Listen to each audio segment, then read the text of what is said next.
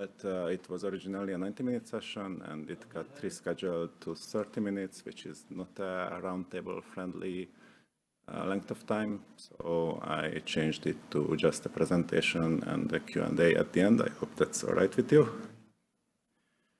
So that said, uh, I would like to talk uh, about uh, what problems audio issue?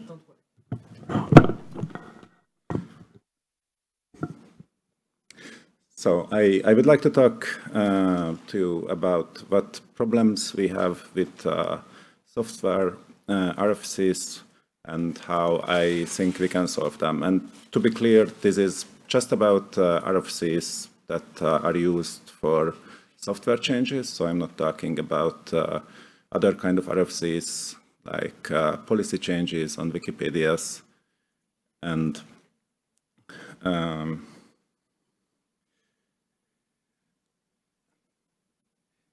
Yeah. So I, I wanted to say a few words about myself, but I think almost everyone here knows who I am, so I might uh, I might just skip that. But uh, very short, I, I, work for the foundation, but uh, that's not why I am here. I have been a volunteer for a way longer time than that, and I'm interested in this topic as a volunteer who is heavily involved in movement strategy. And as you will see, this is a topic that's very relevant to movement strategy. Uh, so, so the reason I, I, am talking about this now is that, uh, as you, I'm sure you know, the movement charter is being created right now. So the movement charter drafting committee is, is working on this foundational document of our movement, which is a sort of constitution and one of the movement institutions it's supposed to define is the Technology Council. And one of the areas that the Technology Council is supposed to handle is how do we agree on what software we should develop and how do we agree on when whether that development is successful, whether the software is good enough to be deployed on the wiki. And this is a big deal. The the entire budget of the movement is between 100 and 200 million dollars a year, and something like half of that is spent on software development. So a lot of effort goes into software development. Uh, how the software works is, is very, very much influences the experience of editors on the wikis. So, so it's important to figure out a good process for this. And uh, the current process is uh, it involves heavily RFCs, and I think RFCs are a truly terrible process for this. They, they are bad for people on all sides of, of the aisle. And I think the movement charter is an opportunity to define a good process, if we can agree what is a better process. Um, so what, what are the problems with uh, software RFCs? And I'm using RFC in, in the wide sense here. So some projects actually use votes, but uh, that from the point of this topic, it's the same thing. And I, I assume everyone knows that, but uh, just in case you don't, RFC is, it stands for request for comment, and it's a very core governance mechanism of, of the wikis. It's, uh, it's similar to voting, but it's a little less structured. So the main problem with software RFCs is that they are a huge waste of money. The software development costs a lot of money.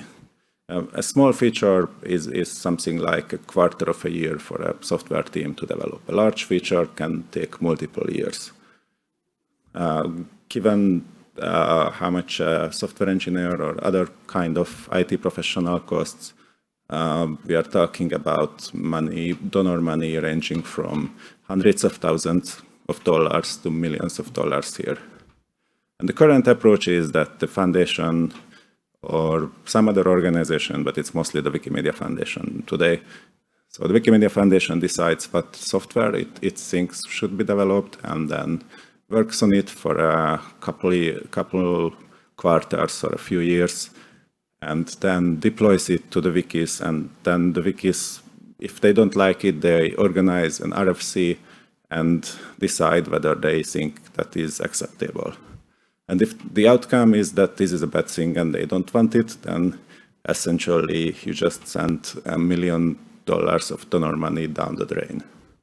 So it's very clearly we, we should agree on what we want before we spend a year on developing it. And besides the cost in money, there is also an opportunity cost, because that means the foundation could have worked on something else that's more useful for the editors, but it didn't. But on, on, on the other hand, uh, RFCs let the editor communities get truly involved in decision making, not, not just being consulted and, and then someone else decides what they what their feedback means. They they have actual decision making power. I think that's something that's very important to preserve. I think that uh, the, the Wikimedia movement is built on, on the volunteer time and effort of editors, and they, they deserve to have a say in, in what software they get, what uh, resourcing they get, just uh, a say with a better mechanism. So maybe could, could we just have the RFCs sooner in the process? Well, not, not easily. So there isn't, isn't really, really any commitment involved in RFCs. So anyone can just decide that they don't like the RFC and run a new RFC, in part because people change over time. So if a software development process takes like uh, two years, then two years later, it's not necessarily the same editor community anymore. There are new, highly engaged editors or influencers and sometimes even on shorter times. Like for example, for the recent uh, development work on Vector, there was an RFC that decided that uh, it should be deployed. And then three months later, it actually got deployed and people didn't like it. They ran a new RFC, which had the same outcome, but it, it could have a different outcome. And then, so it you cannot really rely on, on people actually holding the outcome of RFC as a commitment. And especially because uh, usually the size of RFC is seen as a way of how influential or how binding it is, the, the number of people participating in RFC, which is very reasonable in theory, but in practice it's, it's impossible to get the same level of engagement uh, when you are talking about a piece of software in the abstract than the level of engagement you get when it's actually deployed on the wiki and affecting people and they are maybe angry about it. So the, the, the size of engagement will naturally scale up as the development progresses, but the commitment still needs to be upheld somehow. And this is made worse by change aversion. So change, change aversion is, is the uh, phenomenon that people are initially unhappy even with good changes. Google did a lot of research on this. They, they measured uh, the satisfaction of their users over time. And what they found was that uh, um, a development, a satisfaction curve for a good feature looks something like this. There is a, a stable uh, level of satisfaction for the old feature, and then the new feature gets deployed, satisfaction drops down, because people people are unfamiliar with the new way of working. Suddenly things are not where you remember that they have been. Suddenly you need to think about how certain things work. Your muscle memory is not working anymore. You, it's, it's a distraction from what you actually want to do.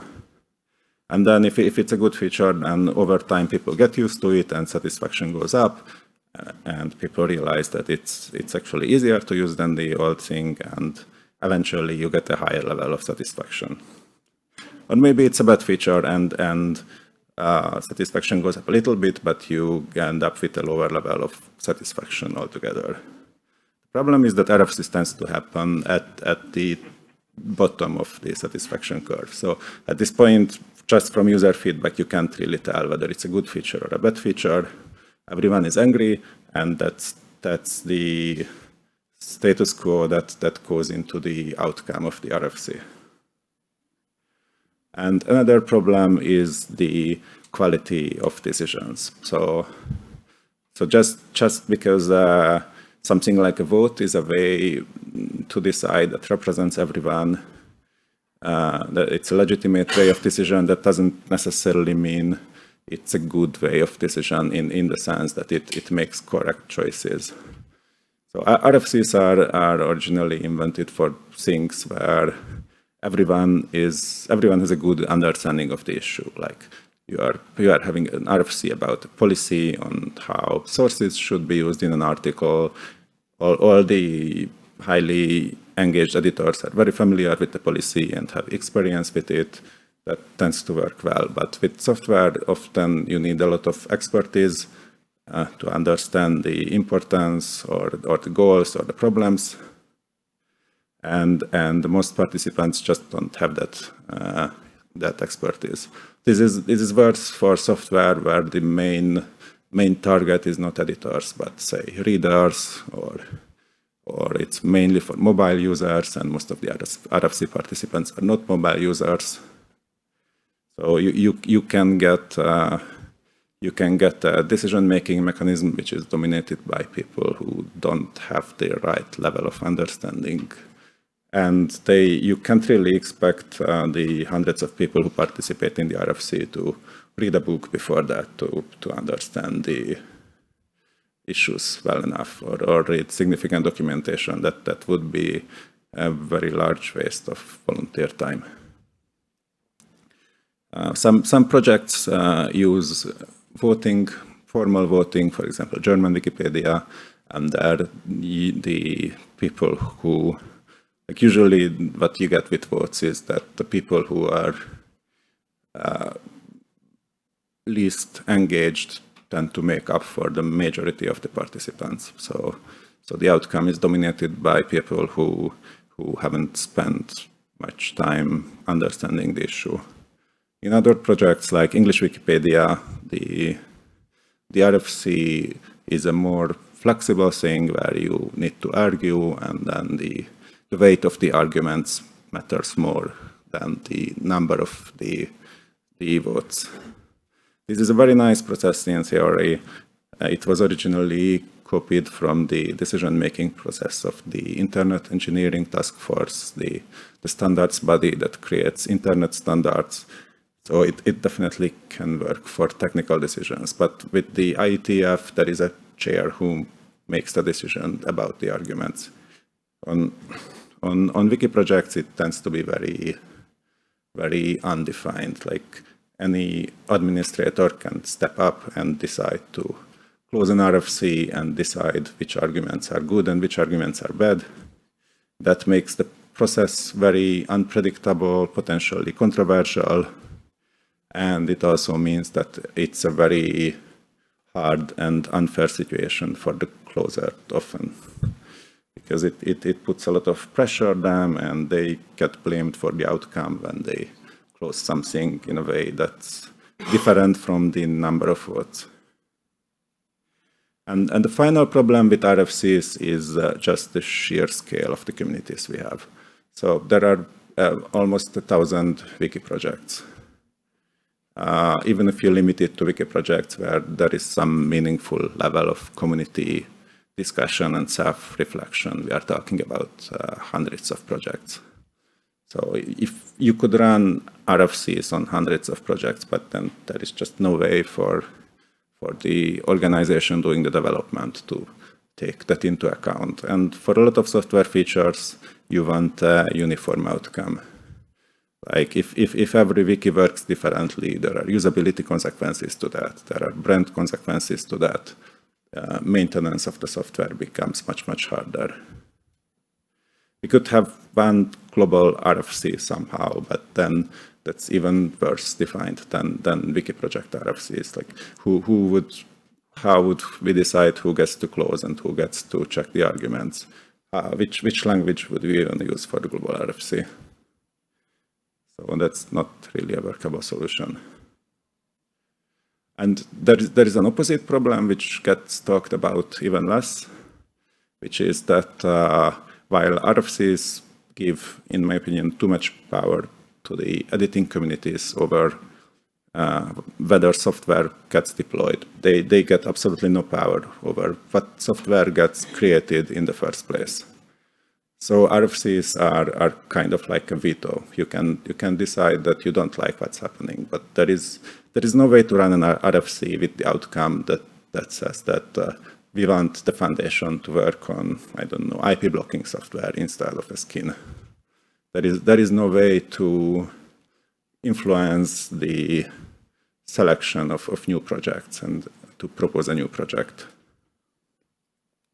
And that, that seems like a very important thing to figure out because uh, if, if you want to give communities real decision-making power, then that power needs to start at the planning level. So how, how would a better process look? In, in my opinion, one important part is representation. So votes just don't scale up. And votes are just not good for a sufficient level of engagement and expertise if you want that, you almost always need a small body, a small body which you can ensure that it contains expertise and which you can ensure that it spends the necessary time to engage with the issue, to read documentation, to read research, to understand uh, why something is good or bad or important. But uh, it, it needs to be a, a legitimate body that represents the editor community so it, it needs to go through some kind of election process. So we have a we should have a group. Uh, I am using the working name Product Council here because I think Technology Council is not a very good name for reasons I won't go into. And then the editing community should should uh, elect that body, and and that body should uh, do negotiations with the foundation. Basically, they, they should kind of uh, replace the role of the closing administrator of the RFC. So the, the community can still have a large-scale discussion, but this committee would decide who is right in the discussion. The, the other key step, I think, is to have an open planning process.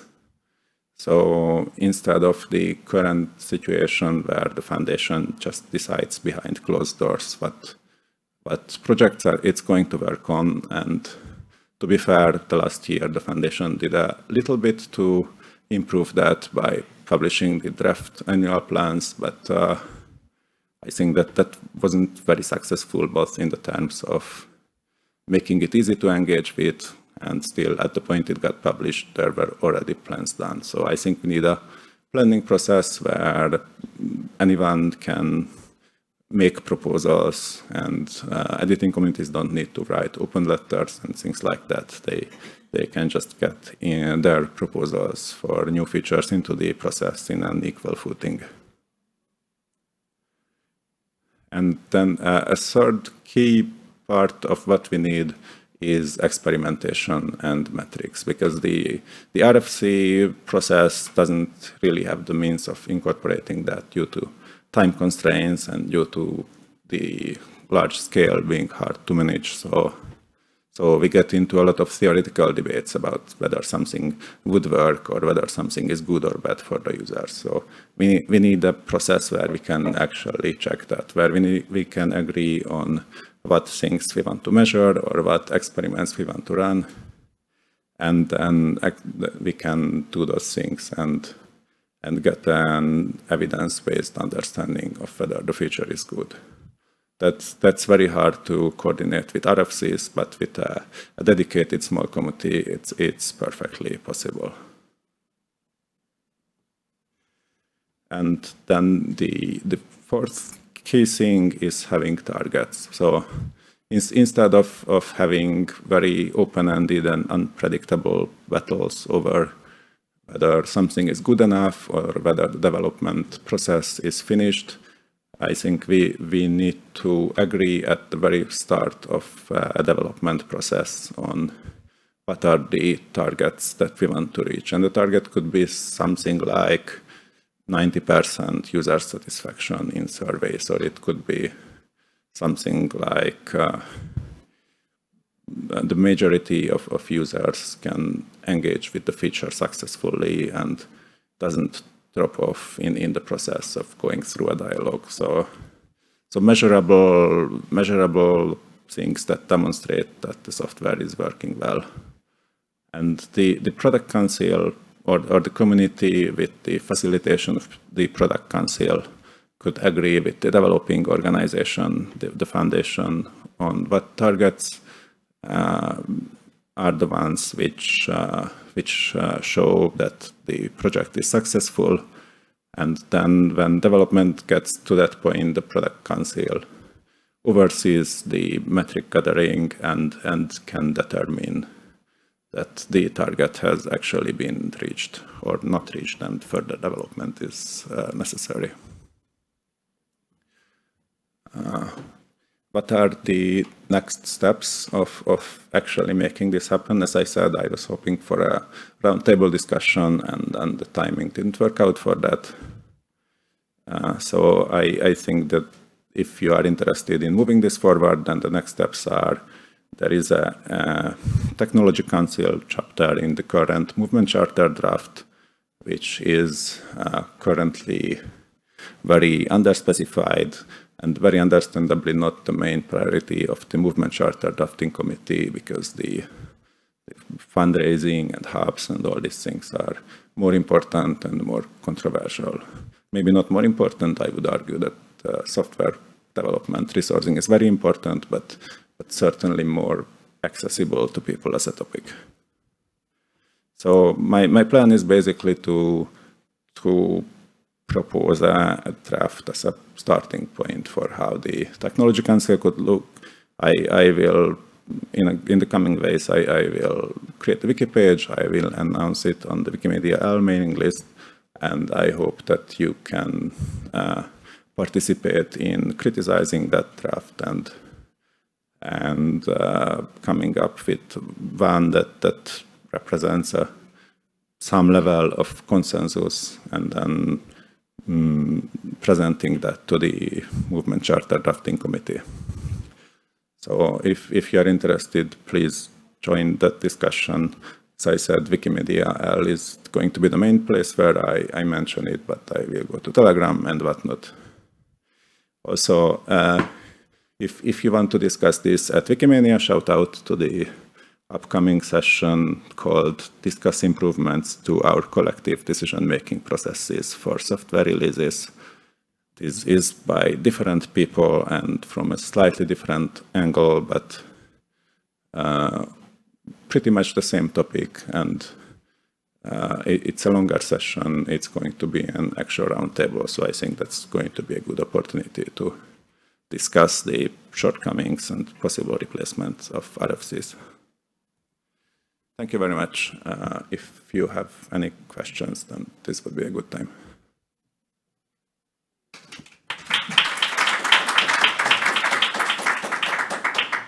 Do we have a microphone? Thank you.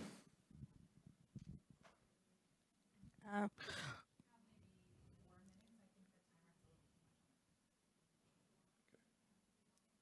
hello.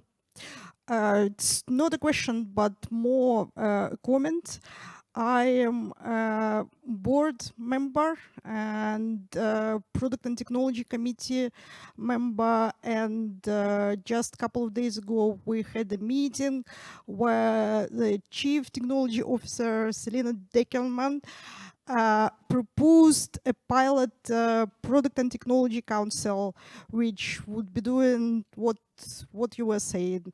I know that the global council is supposed to have the technical uh, technical technical council under it, but it will be several years before that. Uh, so, and we will probably have some some sort of open call. So please watch out for it and join the Technology Council, Product and Technology Council. That's great to hear. Thanks for sharing that. Thank you uh, for this. Um, um, thank you. Um, I'm Ciell. I'm from the Movement Charter Drafting Committee, and I just wanted to follow up on what Victoria said um, uh, even though Wikimedia Foundation might be going into a certain direction and, and also thinking along, it is of course also important to hear the voice of the technical community, not saying that um, Wikimedia Foundation will not do that, but it is important to have this kind of discussion. Uh, Movement Charter uh, Drafting Committee is, is um, always open to this kind of feedback, especially if there is community support for maybe um, uh, just taking a, a, a, bit of a different course or whatever. You know, I, am very, very much looking forward to the exchanges that will be happening in the discussion. Thank you for taking the lead in uh, a proposal like this.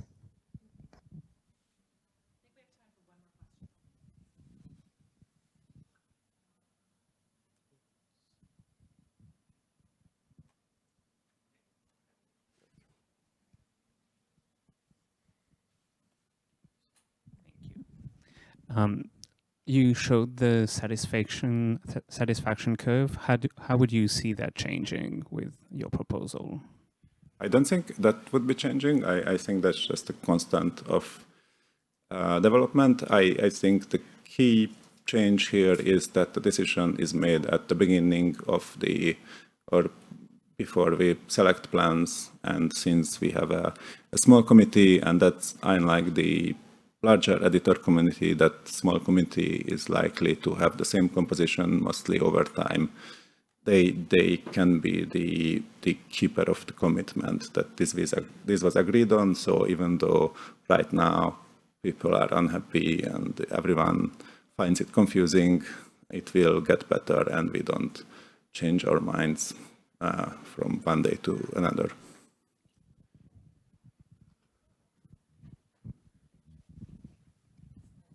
Thank you for coming.